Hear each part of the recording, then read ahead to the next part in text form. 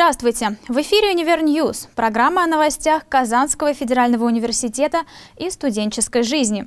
С вами Рима Занединова. Смотрите в сегодняшнем выпуске.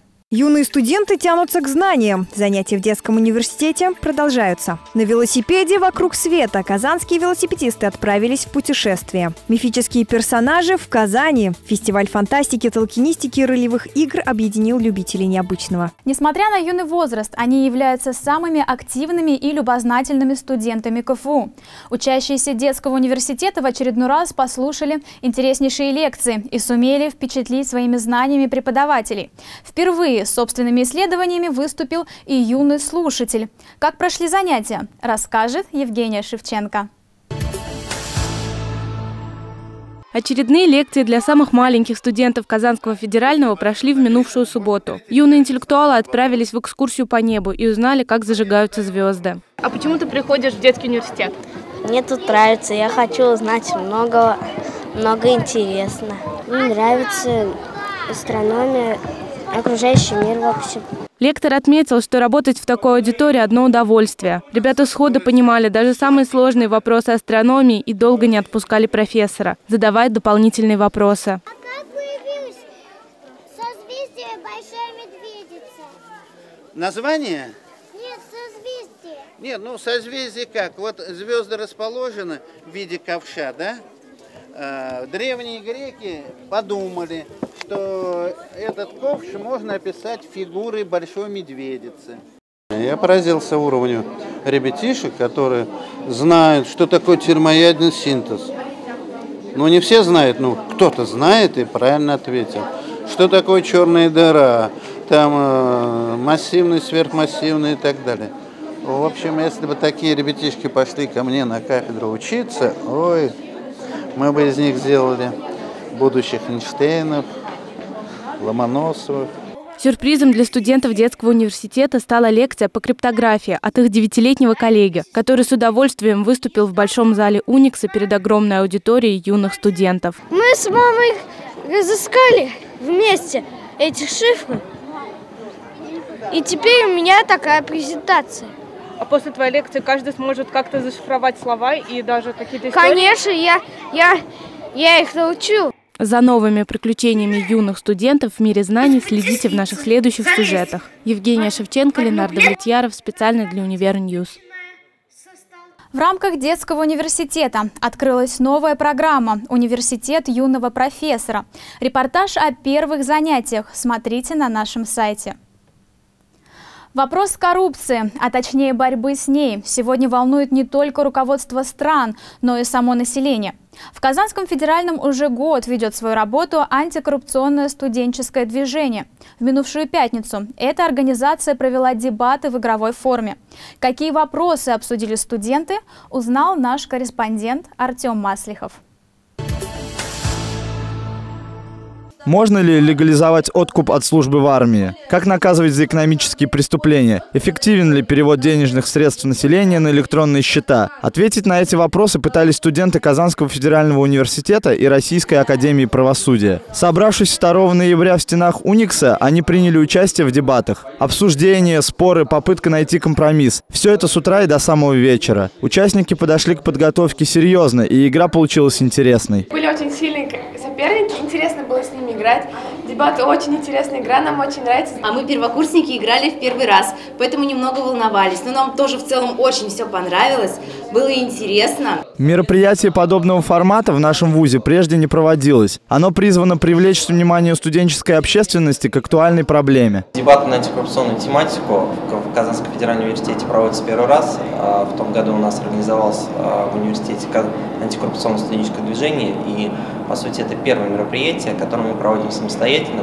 Пользу от подобных встреч трудно переоценить, ведь в процессе беседы молодые люди проявляют свою активную жизненную позицию, предлагают свое решение проблемы и приобретают опыт публичных выступлений. Еще одним немаловажным фактором является образовательная составляющая дебатов. Это очень интересная форма, в первую очередь, обучения студентов, потому что ну, э, для того, чтобы выступить на дебатах, им нужно подготовиться, изучить материал по заданной тематике. Дебаты, которые прошли в минувшую пятницу, это отборочный тур игры. 14 ноября в финале примут участие наиболее эрудированные студенты, которых выберет жюри. Для победителей будет организована церемония награждения и вручены ценные призы. Артем Маслихов, Александр Муравьев, специально для Univer News. Куда пойти работать? Этим вопросом рано или поздно задавался каждый студент.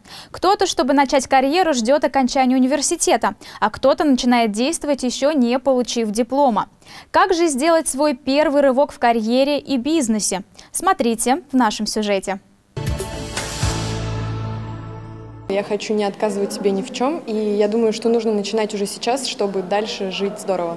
Совмещение учебы с работой уже дело обычное, сегодня на рынке труда масса вакансий для студентов. Сориентироваться в потоке предложений, выбрать лучшее и составить заманчивое резюме для неподготовленного человека непросто. В помощь студентам в 2005 году Казанский федеральный открыл молодежный центр планирования карьеры. Мы все-таки подходим к каждому студенту индивидуально.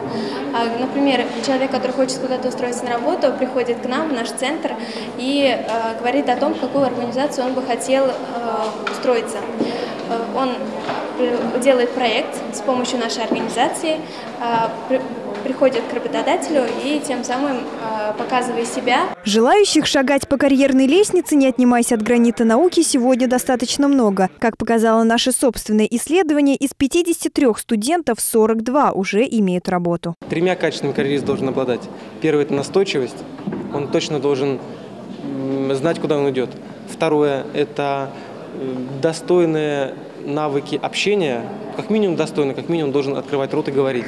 И третье – это большая цель.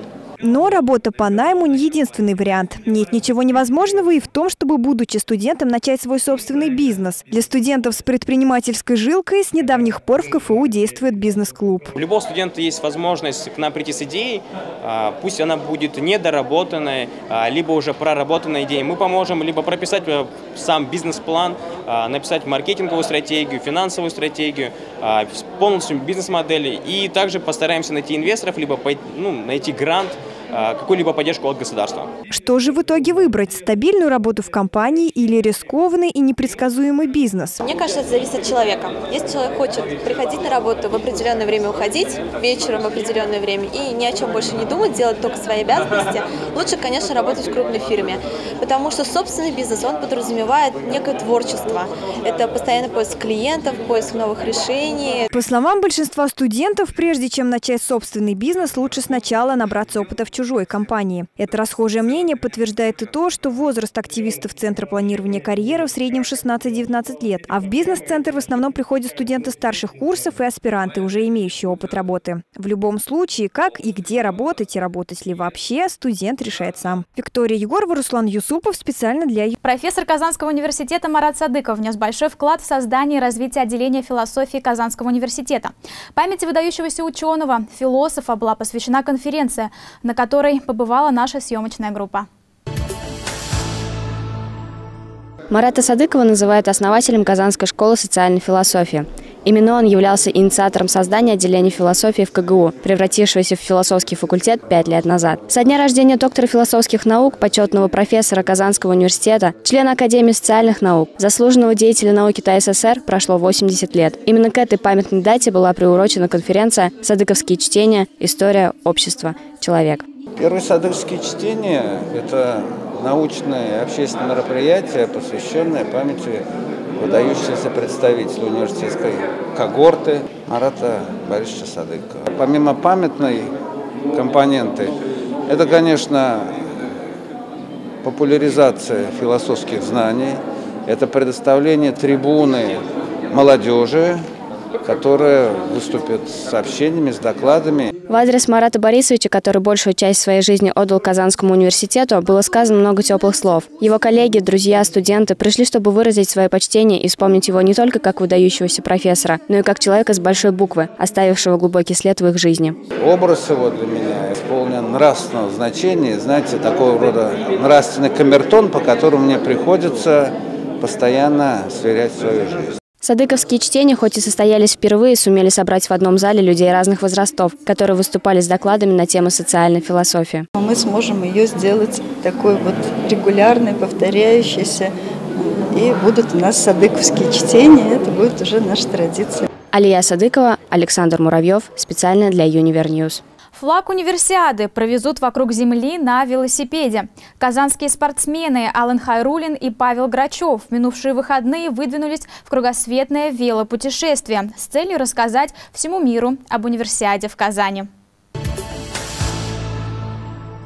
Через несколько минут казанские велосипедисты Ален Хайрулин и Павел Грачев стартуют свое кругосветное велопутешествие. Мы хотим их поддержать, и это такое значимое событие, так это редко бывает у нас, не каждый день. Действительно, ничего подобного Казань не видела целых сто лет, с тех самых пор, как наш земляк Анисим Панкратов вернулся из своей велокругосветки. Тогда он стал первым россиянином, обогнувшим земной шар на велосипеде. Сегодня его имя многими забыто, но Павел и Ален напомнили казанцам о забвенном подвиге земляка. И, Ален, я беру на себя, Паша, Паша, я на себя беру обязательство, когда вы вернетесь, чтобы финиш был уже не у этой стелы, а у памятника Анисима Панкратова. А встречать спортсменов в Казани мы будем 26 июня 2013 года. Свое восьмимесячное путешествие велосипедисты берут все только самое необходимое. Туристическое снаряжение, значки и вымпела символика универсиады, минимум личных вещей. Тем не менее, сказать, что путешественники едут налегке, мягко говоря, трудно. Я вешу 68, а в мундировании весит где-то около, вместе с велосипедом, ну, килограммов 50. Спортсмены будут двигаться в юго-западном направлении. Через полторы недели они пересекут границы России. Новый год встретят во Франции. Три месяца будут колесить по США, а в начале мая путешественники уже въедут в Россию. Мы перелетаем только вот э, от э, Европы до США и от США, от Лос-Анджелеса до Китая. У нас два перелета, а остальную дистанцию мы максимально проезжаем по суше. В день торжественного старта спортсменов буквально разрывают на части поклонники. Среди шума и радостной суматохи лишь одна дама стояла в стороне с грустью, наблюдая за происходящим. Это мама Алена Лидия Хайрулина. Ребята, это непередаваемо. Я даже не смогу сформулировать, как я все это восприняла. Но, вы знаете, я затаилась держала все в себе, в надежде, что вдруг у них не получится, и мой сынок останется дома. Но, как видите, все получилось. Лидия Владимировна вместе со всеми жителями Казани сможет наблюдать за сыном и его попутчиком. Путешественники будут регулярно присылать видеоотчеты о своих передвижениях, так что мы будем в курсе всего самого интересного. Виктория Егорова, Ленардо Влетьяров специально для Univer News. Сейчас велосипедисты находятся около города Владимир. Совсем скоро они окажутся в Москве. Следите вместе с нами за дальнейшими приключениями путешественников. Где в Казани можно встретить настоящего орка или хоббита? Когда сказка становится былью? Как КФУ связан с ролевыми играми? На эти и многие другие вопросы искала ответы наш корреспондент Евгения Шевченко. Встретить сказочную принцессу, храброго эльфа или Воланда можно было без труда со 2 по 5 ноября в ДК имени Ленина. Любители фантастики, ролевых игр, толкинистики и литературы уже традиционно 22 раз собираются в нашем городе, чтобы окунуться в атмосферу праздника, дружбы и веселья во время международного фестиваля «Зеландкон». Я приехала на «Зеландкон», потому что я занимаюсь историческими танцами, скажем так, достаточно давно увлекаюсь подобной ролевой, если так можно выразиться, культурой. Поэтому я сюда приехала, чтобы встретиться с друзьями и хорошо провести время. Помимо ярмарки, балов и разнообразных турниров на Зеландконе проходят всевозможные мастер-классы, встречи с интересными людьми, концерты, театрализованные представления и многое другое. Заскучать невозможно даже случайному гостю фестиваля. Зеландкон – это фестиваль не для избранных. Здесь каждый найдет себе занятие по интересу. О, простите, я так увлеклась, что совсем забыла о работе. Особенным сюрпризом для нас стало то, что Зеландкон не просто имеет тесные связи с Казанским университетом. В свое время на базе Альма-Матер один из преподавателей организовал этот фестиваль. И первые два Зиланта проходили в Униксе. В 80-е годы существовал в Казани клуб любителей фантастики. И он собирался в Казанском государственном университете. И нам очень хотелось э, сделать что-то широкомасштабное не только для казанцев, а вот для людей из других городов. И вот мы создали этот фестиваль. Кусочек сказки согрел всех участников и гостей фестиваля этой холодной осенью. И теперь остается лишь с нетерпением ждать следующего года, чтобы вновь встретиться с волшебством. Евгения Шевченко, Ленар Давлетьяров, специально для Univer News. С вами были новости Казанского федерального университета. Смотрите нас на сайте универсмотри.ру. Оставайтесь с нами и будьте в курсе событий. Всего доброго!